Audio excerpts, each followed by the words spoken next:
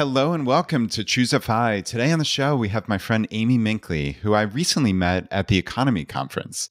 And Amy's story has a little bit of everything. I, I say that fairly often, and it almost sounds trite, but this is the example of literally the story having everything.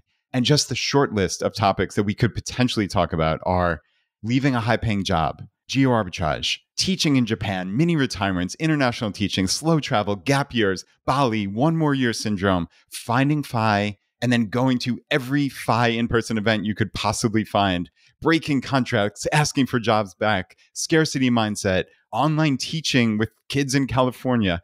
I mean, literally, we could have probably five to 10 episodes here with Amy. So this might be part one of N, but I think you're absolutely going to love Amy Minkley. Welcome to Choose a FI.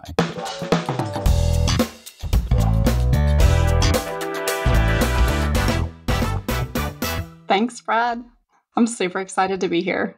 Oh, this is going to be great, Amy. And yeah, like I said, I met you at EconoMe. We became fast friends and we knew we had to do this episode. But more importantly, yeah, it was just so wonderful to meet you. And you helped me with the One More Year Syndrome breakout group, which wound up being a rousing success, though I think we were a little worried about it at the beginning because what's so nice about these FI events, and I think the power of in person events, whether they're Choose a FI local meetup groups, to Camp FIs, to EconoMes, to Chautauqua, to your FI Freedom Retreat, which is going to happen later this year, is people just become these fast friends, right? And we have so much in common.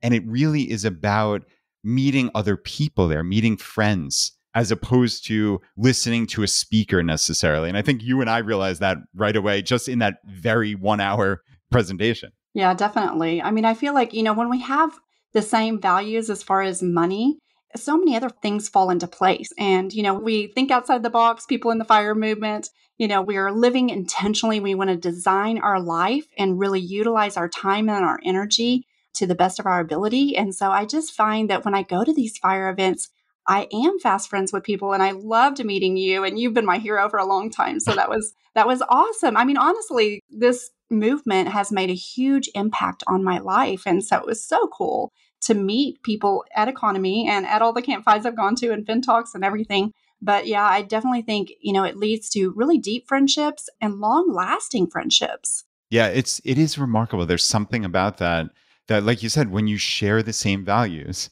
and you're all there for the same reason, it's not just hey, we're looking to soak up information, right? As if we're trying to get taught.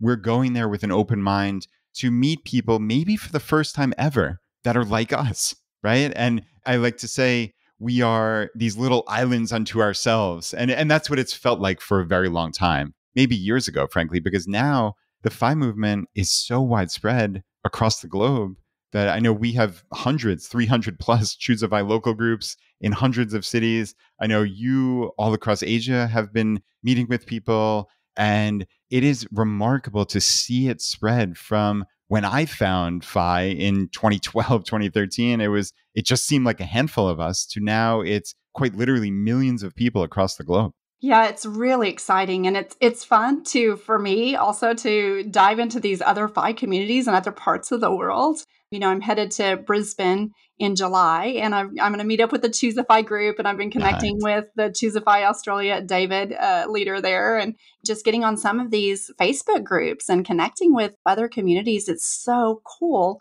to be able to, you know, access that when we travel as well to have instant friends in different cities and just say hey i'm coming here anybody want to meet up for a picnic or you know go out for a beer or something so i am so grateful it's amazing you know i i found the fire movement during a time where I was feeling very isolated during the pandemic and reading the books and listening to the podcast was so helpful at that time. But to go to in person events and meet people, there is something so special about that. Yeah, I agree. And and I think you have an interesting story as to how you found FI and then choose a FI in a very serendipitous way, right? Yes. So I was working in Bangkok at the time and I was going through, I had taken a sabbatical year that turns into two sabbatical years and I had lived an amazing life in Bali and I kind of saw my best life. And then I turned my back on it because I was worried about not making money. And so I went to Bangkok for a job and I was not very happy And I really struggled with depression during that time.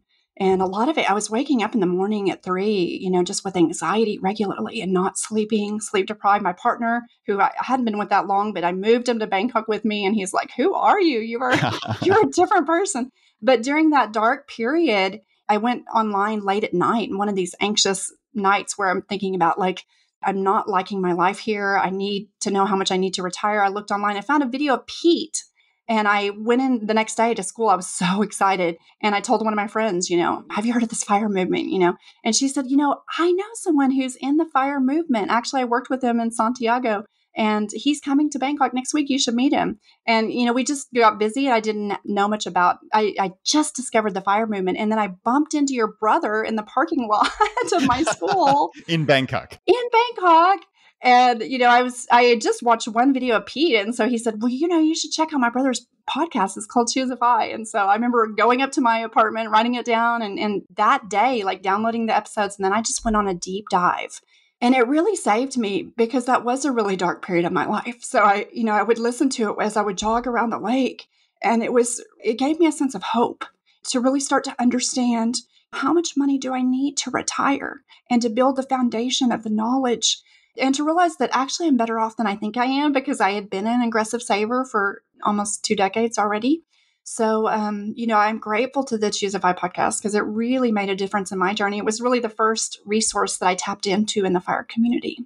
Wow, that is amazing. That is truly amazing. I'm glad. I'm glad. Obviously, it could provide support to you, and and yeah, it's a remarkable thing. I think obviously we are a conduit for this message, right? But like you said, it's there's hope and there's some maybe for that first time there's some level of certainty. And i think that to me is what is so beautiful about fi right is it changes it from it being retirement or just money in general from this very nebulous thing where you listen to the doom and gloom to like you're saying the stress and anxiety which i know that's impacted me and I don't think, frankly, I've talked about this that often, but I've talked so many times about my failed real estate speculation. But I mean, Amy, I lost hundreds of hours of sleep, hundreds over a decade long period of just beating myself up.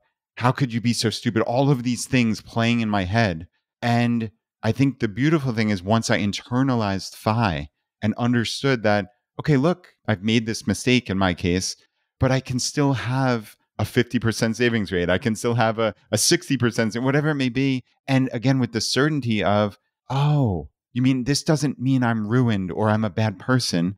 I still control what I can control, which are my yearly expenses. And then therefore, I know what my fine number is. And that just, once I internalize that, and Amy, it took a long time, yeah. right? Like, me too, me too. Yeah. it took a damn long time. But man, once you get that moment, it is it's freeing. It truly is. Yeah. Yeah, it took me a long time too. And it took really ingesting all this knowledge and then doing work around money mindset too. But, you know, it's both pieces like knowing the nuts and bolts of money and then also looking at what are my subconscious beliefs? You know, that no matter how much I understand the 25 times rule or 4% rule, you know, no matter how much I know that, I really have to look at my beliefs and really get comfortable. And that's why one more year syndrome was a thing, you know, and I hit that wall of fear definitely. Yeah, so it sounds like, and, and, yeah, I definitely want to talk about this uh, one more year because, as as we said, we presented on that in, in, a, in an interesting way, and, and you have such a personal and visceral story of that. But it really comes back, maybe rewinding 20, 30 years, right, to when you were a kid, and that where that scarcity mindset comes from, and you saying to be secure, you felt like you must work hard and save money. And when that's imprinted on you at such a young age, darn, is, is it hard to get rid of that, right? Even when you are in, by any definition, a comfortable position, well on your path to FI, maybe at FI. But when you have that mindset, like you said, the nuts and bolts, that's the easy part at the end of the day, once you learn it. But goodness, to unwind these money mindsets, that's the real rub here. Yeah, it is. I mean, I didn't really see it my whole life, but I had that belief, you know, I must work hard and I must save money. And also, money could disappear at any moment. You know, that's a, a lesson I learned at 12. Um, you know, my my family had money and then my dad left the family and suddenly overnight we didn't have money. And I saw my mom stressing about money and we had to sell our family home, we had to move to a different state. I suddenly felt like the poor kid in school and I really struggled with confidence and worthiness issues. And so having money disappear overnight and then hearing my mom talking about her money fears really imprinted me to, you know, I can't depend also on a man for money. You know, I, I also had a little bit of distrust there. And I, as a woman, I need to be able to support myself and be safe and save money. And I, I learned, you know, in, in high school how to buy my first car. I worked two jobs, you know, pay for college, working two jobs, living as a, you know, crappy student apartments, working as an RA, going to state school, all yeah. of those things. You know, I was pulling all the levers to get through school, pay my rent, buy my books, all of those things. And it was great. They were great lessons. I learned how to budget at an early age. But that blessing was also a curse because, you know, it's hard to turn off that mentality that served me in the beginning, but then no longer served me later.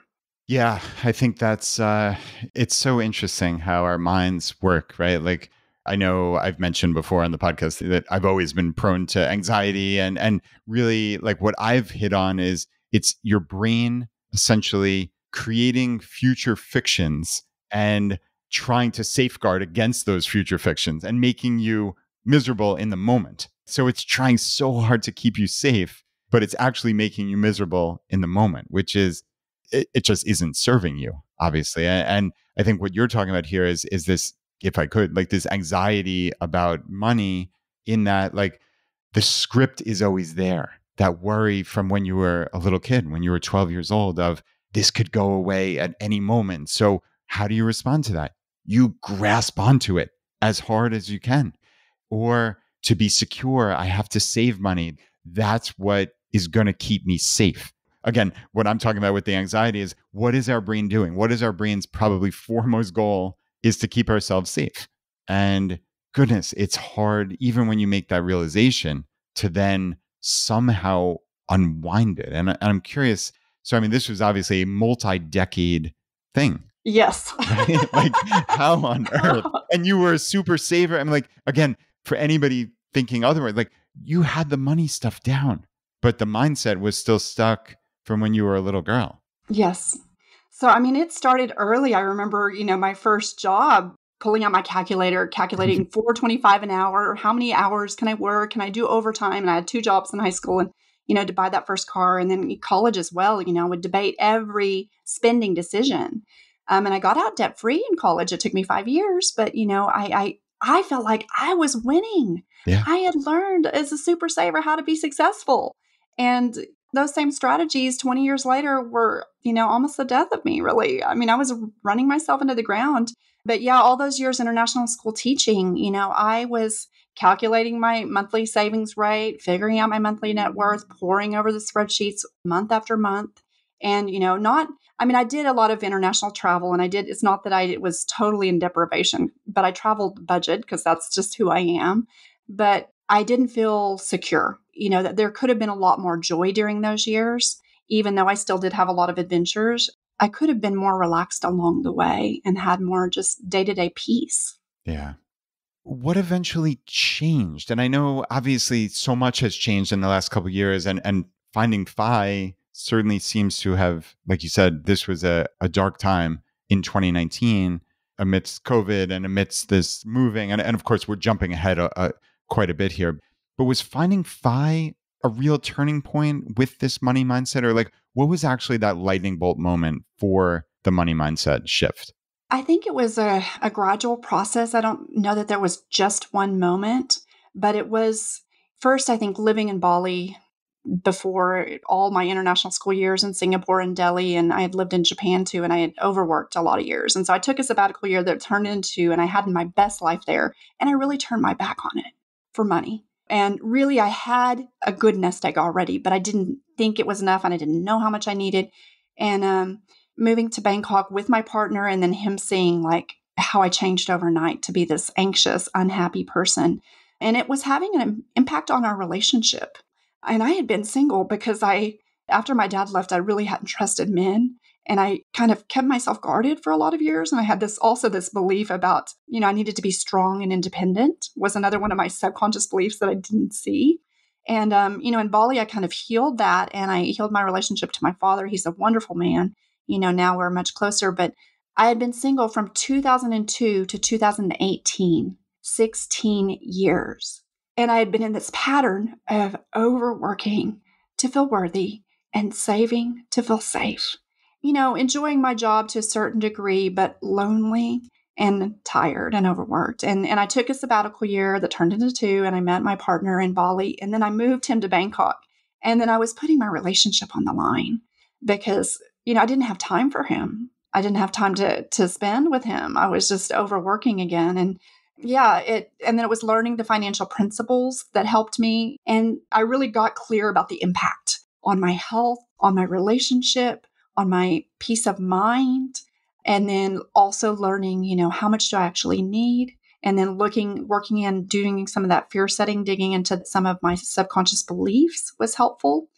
And then actually going through the process of preparing to leave for my job and not leaving and leaving and not leaving and going through that process, I think was part of the process as well. And then my dad's health was part of the, so there were several different things yeah. that came together at the same time that really kind of helped burn that off. And, and I wouldn't say it's fully burned off because, you know, it's still a work in progress, but it helped me choose a different path. Yeah, it's amazing how how this decision to move to Bangkok to take a job again. So it sounds like if I, if I'm putting the pieces together, you were in Bali and that's where you met your partner and you were on a sabbatical gap year and you were, and I'm jokingly saying, Bali Amy, right? And yes. then mm-hmm. it's okay because those money scripts kick in and, oh, I can save what, 70, 80, $90,000 a year at this job in Bangkok. I have to do it. Yeah, no, I saw the job and I knew that the schools often, you know, they pay for your housing. My place was furnished, you know, they pay for your flights over and ship you over with all your stuff. And I worked these jobs before so that I knew that when I saw the salary, I knew I could save and I and I had a little bit of side income coming in from real estate. Just a note, not that I own a house, but a, a real estate note. And so I knew, you know, I could really live on my real estate note and I could save my full salary, which was 90,000. So I was really basically saving 90% of all the money that I had coming in just living on that that note. So when I saw that offer and I was living in Bali, I thought I have to do that. You know, I put it in my compound interest calculator. I figured out how come the spreadsheets. yes, yes. And you know, I went only really for the money, and I fell flat on my face. I thought I would be, you know, I I could uh, be more zen. I'd lived in Bali for two years, and I would be bringing a lot of the learnings that I had had in Bali, and I did not do well. I did. I uh, just went back into old patterns. Yeah goodness, it's hard not to. But right, like you said, it, I think you became aware both internally and also it sounds like your partner, and it caused this these issues really fairly quickly because again he's seeing someone that he didn't previously see in Bali, and yeah, then these these scripts kick in. I know you said previously that. So you were in Bangkok, and then I guess these international schools, you have a contract, but then you decided to break the contract, right? Yeah, I mean, I was when I first got there, I was, you know, I was going through a lot of imposter syndrome. So I was working hard just to, you know, feel like I belonged there. You know, anytime I, for me at least, when I start a new job, I feel like I've got to build my reputation. And I was quite miserable in the beginning because I was especially overworking at that time. But I, you know, they make you decide, or they don't make you, but that you have to decide really early. I think that deadline's November 1st, even though you just started teaching in August. So it's just a few months. And I signed a contract to teach another year, even though I was very unhappy there. And then I went away for Christmas break and I just really got some quiet time. And I thought, I cannot work another year. And so I went in and I knew it was going to kind of blacklist me for international schools because it's a small community. So, you know, you shouldn't break contract. But I went in after the Christmas holiday and just said, you know, for my own mental well being, I do not want to renew my contract next year. And so, you know, I was not going to work. I was only going to work the one year, which is initially what I had contracted for. But then six months later, I decided I need to work again. And so I went in and, oh, you know, yeah. had the, my, my principal give me the job back. And so I worked a second year so it was really, you know, really one more year syndrome. Wow. You actually did work the second year. I did. Oh I my did. goodness, I didn't realize that. So I went through this whole, you know, period of really making it complicated for myself. And and it was embarrassing, you know, to say yes to a contract and then break contract and then go back in and say, I'd like my job again.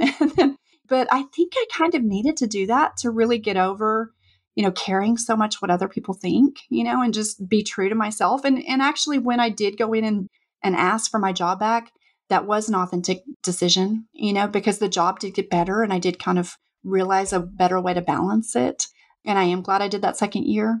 But, you know, it it was good to walk through that, quitting and then asking for my job back and, you know, facing that embarrassment that I felt. Yeah. And like you said, sometimes, I mean, you really can grow by leaning into that. And I think so many of us just try to be so proud, right? Like, oh, we could never change our mind or lose face or whatever verbiage you want to put in there. But also, like I said, changing your mind. And I think I, I talked about this on a recent episode where it's like flip flopping has become maligned in uh, certainly in politics and such. But I mean, to me, changing our minds based on new information is what intelligent people do, right? And in your case, you wanted to break your contract because at that point you were miserable, but then it sounds like it got dramatically better. And you, from a place of strength, were able to say, I actually want to work this extra year. That's what I'm hearing at least. And and you made that decision not because, oh, you were worried about what people would think because you already did the hard part, right? You already Right. did the, the part where you might be embarrassed. And now it's like, oh, I really like this. I'm gonna stay here another year. I mean, that's that's a really good thing. And that's, I mean, goodness, both sides of that must have been really hard. Yeah. I mean, I think the first year teaching any place, because the curriculum's new in each school that I teach at, you know, it's always hard that first year. You know, you're making everything from scratch. I mean, you have a team, but a lot of it's from scratch. And and also the, the pandemic hit. And then suddenly I was teaching online and it was hard for a lot of teachers, but in Bangkok it actually it was easier for me. Our classes got shorter. I went away during one break and then they closed down the school and we could teach I could teach from an island, which was pretty Oh, nice. too bad. So yeah, I mean, it wasn't good for the kids, and it was I wouldn't have wished it that way, but it actually helped bring me out of that period of depression and helped me learn how to balance my life a bit more. Nice. Yeah, I want to. Uh, well, first, since we're talking about international teaching, actually, since you mentioned my brother, he was on episode 109 of Choose FI. So, for anybody interested in international teaching, him and we had another guy, Rob, on the show at, on that episode. They both talked about the value of international teaching, and I know. Obviously, it's worked amazingly well on your path to FI. It worked remarkably well for my brother. And really, the salaries are, I'm just astonished. Like you said, very much in passing, like many of these schools pay for your living. They pay for flights to and from the us once or twice a year. They there's all of these extra things. I just i could not stop having like my mind just like boggled by all of the benefits. And then the actual base salary for my brother i, I mean don't quote me obviously but I, I think it was something like 1.8 times or almost double what the local school here in virginia was paying him. So it was an absolute no-brainer. And not to mention it's this amazing adventure you're meeting other people that are of adventurous spirit. Many people they, there's these new cohort of uh, hey all, these are all the first year teachers and they're coming from many from the us but from across the world and you have 5 10 20 new people that are all in this together and it, it almost feels like going back to like freshman year of college when yes. right like who are the people you remember from college it's mostly the people on your floor of your dorm freshman year Yeah. Yeah. I first went abroad in 2001, and that was exactly this scenario. You know, I was just out of college, and I actually worked not at an international school, but the Japanese government flew us over to Japan to teach at Japanese high schools. And, you know, they paid my rent, and the salary wasn't super high to teach ESL, but I was saving $5,000 a year. So I was there four years. I saved $20,000. This was 20 years ago. So it wasn't huge savings, but I had the time of my life. And, you know, my closest friends are still those friends that I met during that period. And that opened my eyes, you know, because I grew up in rural Texas. And then suddenly I'm, you know, I just was traveling to Thailand on my holidays and I loved Japan and the Japanese people. And I thought I'd stay a year or two. And then I stayed four. And then I learned about international school teaching, you know, and I figured out that I could save even more at international schools. And as you said, yeah, the benefits are amazing. I mean, I basically house hacked my whole time in Singapore and in India. So that's a huge savings as well. Like the school in Singapore, the school paid for my accommodation, but I rented out my extra room. And so then so you doubled down on it? That's I amazing. doubled, I mean, just from this scarcity mindset from childhood, you know, I was thinking like, how can I save and maximize? And I was the only teacher in my school who did that. But I, yeah, I shared my place for all six years in Singapore. I, I had someone living with me. And then in India, the school actually gave you the option to live with another teacher if you wanted to. And then they paid us each $10,000 a year. So I did that. And my roommate was awesome. I mean, she was one of my best friends. And we had a four bedroom, four bath place with marble floors, really big. So it was nice to be able to house hack essentially for 10 years and not only have rent free, but somehow benefit also beyond that, right? That's so cool. Yeah, I think for the many, many teachers out there listening to this podcast, if you're looking for an adventure, these international schools can be a, a real real way to go about that. So go back and listen to episode 109. I think that's that's a good way. But Amy, do you have any other like just super quick hit tips on like how somebody could even get the ball rolling? Like what would be the first step someone would want to take if they were thinking about international teaching? Yeah, I would uh, recommend that they go to a Search Associates job fair.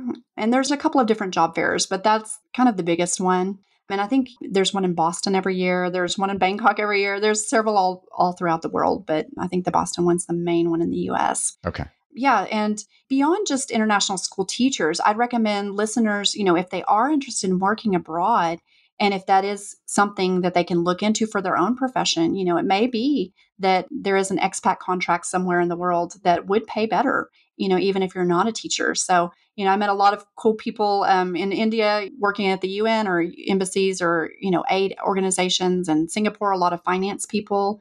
So it's worth looking into if it's something that interests your listener. Like, could this job be abroad or could I find a way for my company to send me abroad or work for another company? Because those expat packages can be very nice. Yeah, you're absolutely right. I know my brother-in-law has a finance job at a massive corporation and and he does that. They've gone abroad multiple times to Venezuela to South Africa to England and gone for a couple years at a time. It's just so cool. And then not to mention nowadays with work from home and remote working, well, you're not really geo-located anymore. It doesn't it truly doesn't matter. So maybe you could make your own travel abroad plan in the confines of your current job. Obviously, this is something you have to have to do research on, but I think what you're painting the picture of is just start thinking about it. Start asking, how can you do this? This is an adventure and it's like you said, being true to yourself. And I, I do want to get back to that because I think being true to yourself for you ultimately took you back to Bali. And that's where your life predominantly is now. But before we get there, you said something very much in passing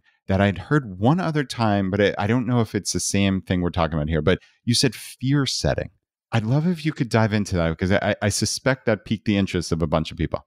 Yeah, I think for so much of my life, I've been dominated by what if this happens? What if that happens? And just imagining all the worst case scenarios. And, you know, actually sitting down and allowing myself to go into that fear and journaling through that process and, you know, just the same thing with when I quit my job. You know, what if the market crashed and inflation goes really sky high and I have a health issue and my partner has a health issue? And, you know, what if all of these things happened? And what if they all happened at the same time? You know, and allowing myself to kind of sit in that yeah. You know, because it's highly unlikely that all of those things would happen at the same time. but what if they did? You know, what would I do? you know, now that I don't work at international schools anymore, well, I would probably maybe go back and get another international school job again, which I could do. You know, I have the community, I have the network, and I do like teaching. And I did finally figure out how to balance it more at the end of Bangkok. I could do that, or I could build a business, or I could find I could find ways to support myself. I have the skills, I have the network, you know, I have the motivation to do that. And then it's fun to allow myself, like, once I've done that fear setting and really allow myself to journal through that and think through all the worst case scenarios, to think about what if it's actually better than I imagined? Of course, I could handle one or two things bad going wrong, but what if it's better than I could envision? And opening myself up to possibility and opportunity. And often I find, you know, all the things I fear never happen. And in fact, it turns out better than what I imagined. So it's allowing myself to sit with that discomfort and then see the other side of it too. Yeah, that is beautiful. And it's so it's so important. And I think a lot of us aren't even aware of, of this as a, a concept, but I know I've heard it also in the realm of Stoic philosophy where these fear setting of, hey, what is the worst that could happen? And it's something to the effect of, I'm paraphrasing horribly here, but like Marcus Aurelius, the most powerful person in the world, and imagining himself as, okay, if I've lost everything, what would it actually be like? What would it be like to walk the streets and, and just actually picturing yourself? And again, I'm I'm paraphrasing yeah. almost certainly incorrectly there, but but that's the concept of what if that thing that I fear the worst actually isn't all that bad? Yeah, no, you're exactly right. I mean, Seneca talks about this too, you know, about negative visualizations. And, you know, the Stoic philosophers also talk about really visualizing, you know, losing, like you said, like losing everything and even your own death. You know, visualizing your own death and doing, I mean, I did a lot of death meditations in, in the past too, but there is something about that that kind of brings into your awareness like what you have to be grateful for. Yes. And the things that we just, they fade into the background of our lives of abundance. And you're not grateful, really, on a conscious level, of all the remarkable things you have in your life. Most of us aren't, right? I mean, who is consciously grateful for the hundreds, thousands of conveniences and remarkable advances that we benefit from every single day? You think about if you could be placed at any time in human history, you would be placed now, almost undoubtedly. Right. And yet, when you turn on the news, it's doom and gloom. People thinking the world's going to end, complaining about the Fed and taxes and all this other nonsense. Like, but you you do the look outside test, which is kind of something I've coined. Like, you look outside, and the world is pretty wonderful. You look through your regular day, the world is pretty wonderful for most of us, right? That's not to say there's not suffering. That's not to say there's not bad things going on in the world. I'm not a fool. I'm not naive. But for the vast majority of us, this is quite literally the best time in human history to be living hard stop, end of story, no question about it. And yet we lose sight of that. Yeah, I agree. Yeah, I, I feel like, you know, there is so much value in actually contemplating the gratitude, but also contemplating like the end of our life, you know. And I know that sounds scary to some people, but like when we contemplate the end of our life, it helps us to get really clear about our values you think about Doc G, right, and Earn and Invest, and his work as a hospice doctor and talking to people who are dying. And I just love hearing, you know, all of his wisdom about, you know, what do people really reflect on and value at the end of their life? And if I can think about that now and then live more intentionally, I am really living with more gratitude, like you said, and looking outside and appreciating all the things that I have I have in my life. It is a wonderful time to be alive. Yeah. And then even kind of bringing it back to the micro of FI which is okay, again, using the same concept of the fear setting. What's the worst that would happen? And I, am going to go two for two on my paraphrasing horribly here and, and hopefully remembering who said this, but I believe it was Joel from FI 180 way back in 2017 on our podcast. And he talked about what's the absolute worst thing that could happen if you reach FI or you proclaim that you've reached FI and you even stop working, right? You're bringing in no income and things go horribly wrong. And I'm, I'm using that dripping with sarcasm in air quotes, horribly wrong. Well, you go back to work. And as, as he said, paraphrased, your worst case scenario is everybody else's every day. Right. Right. So that's if it goes horribly awry. And even in that ridiculous scenario that is so unlikely, you still are so much better off than you would have been had you not pursued financial independence because undoubtedly like things going catastrophically wrong still means you're probably at 80% of your FI number or 90%. It's just like that's what's so silly about this is you're still wildly wealthy in that scenario. You have so much power and autonomy that you simply would not have had if you were living paycheck to paycheck all those years. Right? So it is unquestionably the right path. And this is what I say to people who ask me, is FI for everybody? I think my answer clearly is yes, with the caveat that I, again, am not naive enough to say that it is not any harder for someone making twenty or thirty thousand dollars a year than someone making a million dollars a year. Obviously, it's easier for somebody making a million dollars a year, but I think all of us, no matter who we are, where we are, can benefit from pursuing financial independence because any little bit of power that we can reclaim in our lives by saving money, by not having, like Amy, we're talking about, both of us have experienced significant stress because of finances. obviously in different ways, but we've all experienced it in different ways. And to any stress mitigation of having that first $500 saved up, $1,000 saved yes. up, your life is dramatically better. And I think that it's very easy to lose sight of these things because we think only about what's that perfect success story with the perfect 4% safe withdrawal and nothing went wrong and but but that's not real life it just isn't but yet you're still a success. And i think that's what i'd love for us to each internalize in our own heads and to get across to the audience and the community at large is you start accruing benefit on your path to financial independence on day one. Yeah you do. You have so many more choices. You know the minute you pay off your debt you have a lot more options. The minute you have your emergency funds saved up, more options. By the time you've got your first 100,000, you know, more options. So it is it's nice to have these little milestones along the path to FI. And all along the way, you are buying yourself more choices and more freedom. So, you know, I just encourage listeners to, no matter where they are in their journey, you know, for listeners who feel like, you know, and I know I have friends like this and people in my family like this who feel like, I didn't start, I waited too late. And they have this story about that. But no matter where you are, starting today, just letting that go and looking at what can I do now?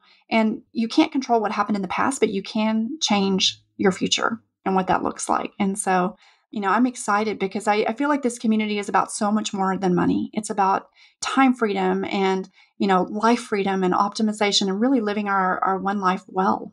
Oh, I love that. Living our one life well. That is, uh, man. I mean, it sounds trite. no, but, it know, doesn't it is, sound it, trite, Amy. You know, I guess I've, I feel like I've lived that, you know, because for most of my life and what I realized in that period of time when I was in Bangkok and having a lot of depression and anxiety, and I, I uh, started listening to Choose FI and then I learned about Your Money, or Your Life. And that book was a kind of an aha moment for me because I realized my whole life I've been choosing money. I haven't been choosing my life. You know, if someone actually held a gun to my head and asked me that question, your money or your life, I would choose my life. But obviously I'd never, I'd never really done that in a lot of ways.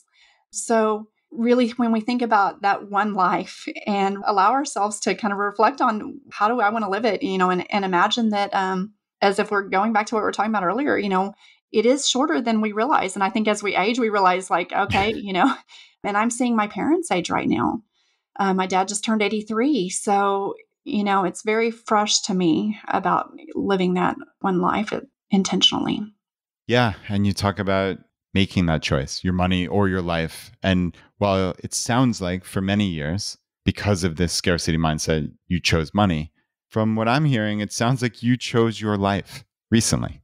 And that goes back to the being true to yourself and ultimately ending back in Bali. And it's an amazing thing to see to see that change, right? To see that dramatic shift and that realization that I was doing this for money. Even the leaving Bali, right? You left this place yeah. that you love so much to go to Bangkok, to break a contract, to finish it out, to all this stuff, and then to go back. And uh, it's it's wild. And I'd love to hear you talk about maybe just about Bali, about being true to yourself, about how you knew that was the place for you. Yeah, I didn't really initially know that it was the place for me. You know, I'd been there a dozen times. You know, I lived in Singapore for six years. And even when I was living in Japan, I used to go down there. So I'd been there a lot as a tourist and I had only seen the touristy things. And, you know, I was going to take that sabbatical year. I left India in 2017 and I was just passing through Bali and I was going to do this transformational course. And it was only 10 days long. And that's really where I healed my relationship with my father and realized that I was ready to call in a partner. And I met my partner four days later, which was wild. Amazing. so it's funny how you can be single for 16 years and then, you know, call in a partner pretty quickly after.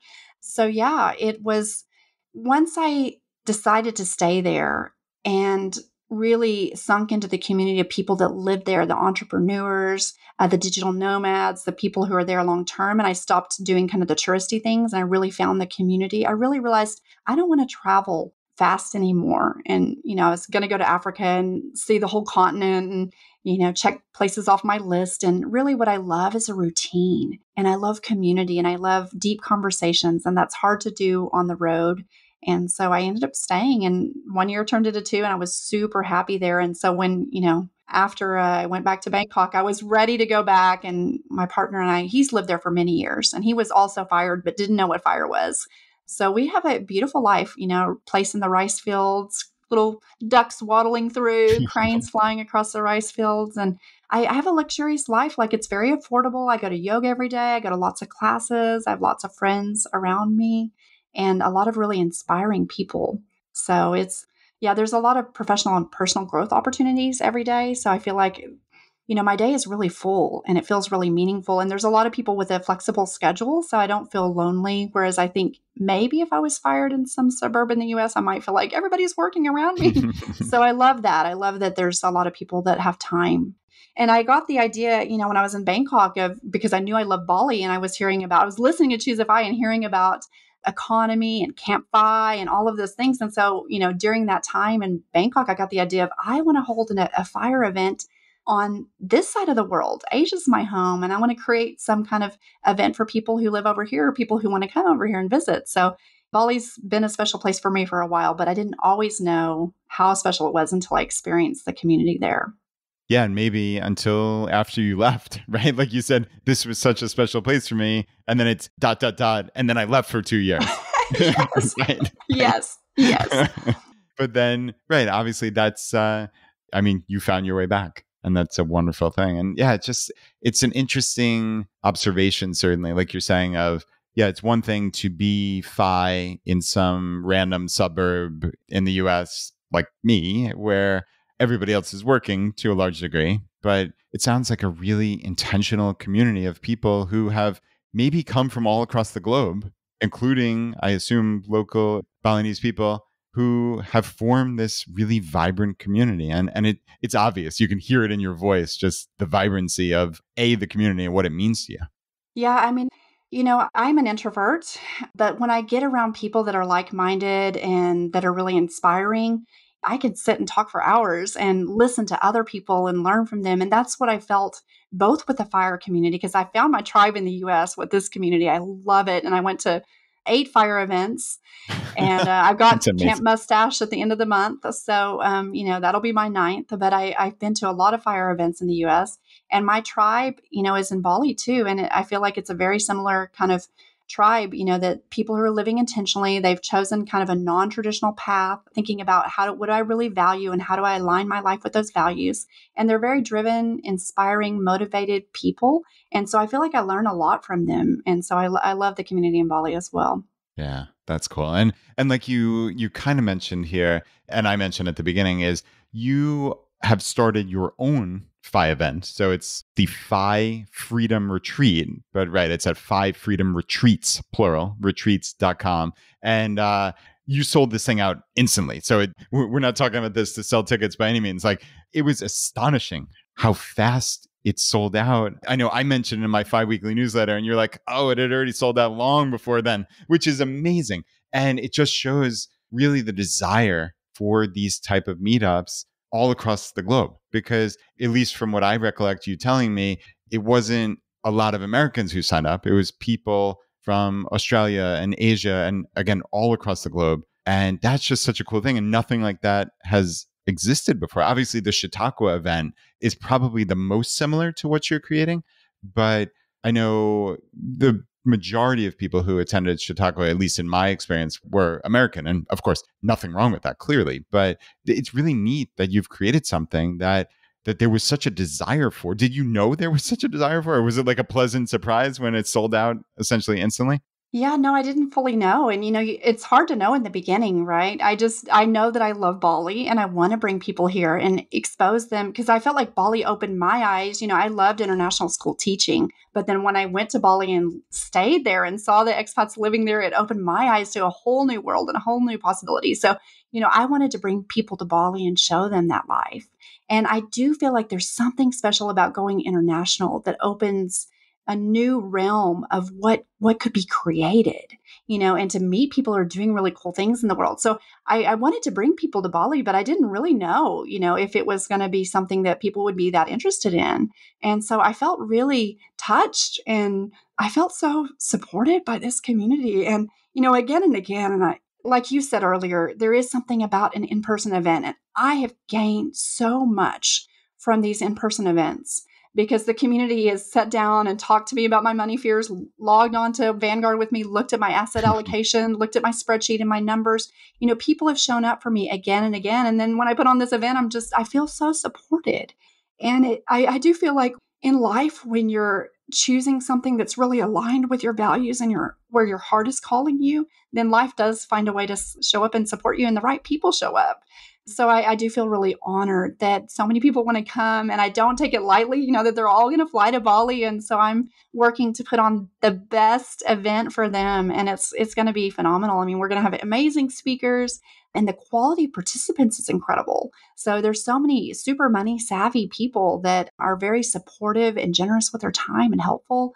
And so, you know, just like when I go to EconoMe or Camp FI or Fin Talks, any of these events or Camp Mustache, you know, I learn a lot from the speakers, but I learn just as much from the participants. And then we're going to have adventures in Bali together and do lots of cultural stuff. And then we're going to hang out afterwards and have some fun time, you know, at the beach, uh, even after it ends, just hanging out, getting to know each other. So there is a lot of value in those small conversations that we'll have um, and that we have at all of these events. So if your listeners haven't gone to a Camp FI, a EconoMe, or a fin talks, or a camp mustache, you know, or they want to come to Bali FI Freedom, I would recommend it. There's something special, especially about a multi-day event. The second day, something special really happens, and um, those relationships go really deep. Yeah, I wholeheartedly agree. Would echo that significantly. I think I've been to probably six or seven, not quite as many as you, but I, am getting close yeah, there's just something really special about it. So we'll have all of those links to all the events that you mentioned in the in the show notes. But I guess for people, you're going to have this in all likelihood every single year. So it looks like I'm on your website now. If you go way to the bottom, bottom right, you can sign up for a mailing list. So I'm assuming those people will be the first to find out about the 2024 event. Yeah, and I would recommend to get on the mailing list because it will, I, I, anticipate, will sell out fast again. So that way they can be the first to know. And I would love to welcome them to Bali. Yeah, that sounds so cool. And uh, yeah, maybe I can convince my wife and uh, we, we can join you in 2024. That would be awesome. Oh, I would love it. I would love it. Yeah, that would be great. So, just one last thing I wanted to talk about it since we, we mentioned very much in passing a couple of these gap years that you took. And I know you've mentioned before that that it's something you really believe in and that you think a lot more people should consider. Now we, have talked about a lot of these these important kind of hey maybe have this aha moment, and I think a gap year is something that most people don't really consider because they think about what is it going to look like on my resume or all these other ridiculous things like which I mean they're not ridiculous of course, but how would you respond to that to somebody who has these normal fears? And I, I, don't mean to make light of them, of course, but these very normal fears about taking that time off, about having, like you said, you even had imposter syndrome, right? From taking two years off of teaching. So, I mean, you very viscerally know what that's like to have these legitimate fears. And again, I was kidding before, but talk me through that and the power and value of gap years. I think it speaks to what we were saying before about, you know, what if it's better? You know, you just never know what could happen in a gap year. You know, you don't know what you don't know. So, um, I took my first gap year in 2005 when I left Japan and I traveled around Southeast Asia and India and Europe. And in that year, I met someone who was an international school teacher, and I wasn't actually sure I was going to go to international school teaching. And that was a life changing moment for me. And then coming to Bali and, you know, healing, I would have never anticipated like healing my relationship with my father and being able to meet someone in Bali.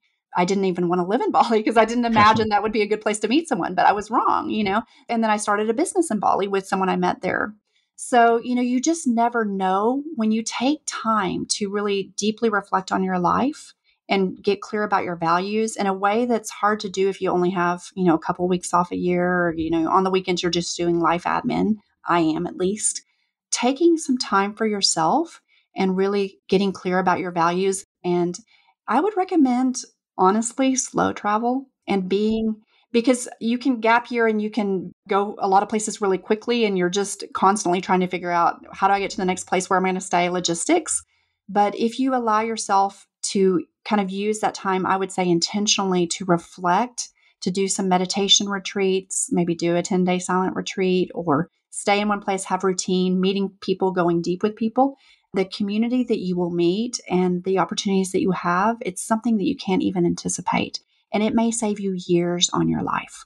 because you may have some realizations that it would have at least for me it would have taken me years and years to figure out and maybe i wouldn't have never never figured them out until you know i'm on my deathbed with some regrets or something like that but i would highly recommend and i guess if listeners don't feel like they can take a full year you know it doesn't have to be an all or nothing thing you know there is a lot of value even taking six months or two months but taking some time to really reflect and, and doing it in an intentional way yeah, it's amazing how these themes keep recurring on Choose FI across so many of our guests of slow travel, of having a routine, of not try I mean it sounds obvious when you when you hear it, like not traveling to check boxes, right? But that's easy to say now, but I think that's how so many of us travel, right? Is oh, I visited Italy, I visited France, and yeah, maybe I was there for a day or two, but is that really visiting? Is that really experiencing the culture? Is that really getting to know the city, the town, the country, the people?